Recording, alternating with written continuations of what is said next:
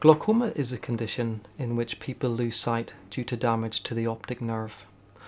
Glaucoma tends to occur in patients who've got high pressure inside your eyes, but some patients can get glaucoma even if their pressures are normal.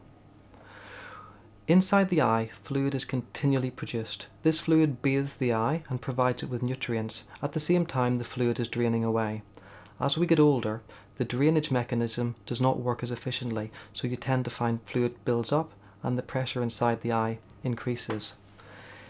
In the early stages of glaucoma, you will have no symptoms. This is why it is very important that you have your eyes examined so an optometrist can check you for signs of the disease.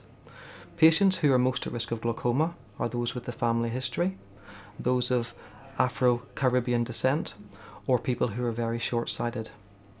When the optometrist examines your eyes, they will shine a light into your eye using either an ophthalmoscope or they may use a special microscope.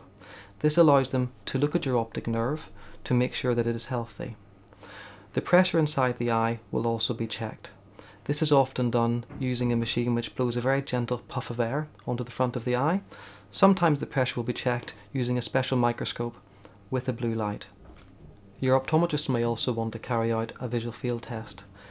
This test checks for any small blind spots in your peripheral vision, another early sign of glaucoma.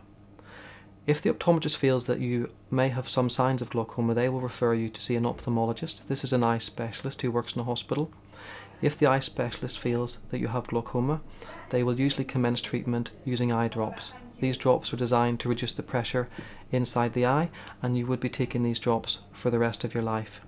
If the eye drops are not effective, then there are other treatments available. You can be treated with a laser or there are surgical options.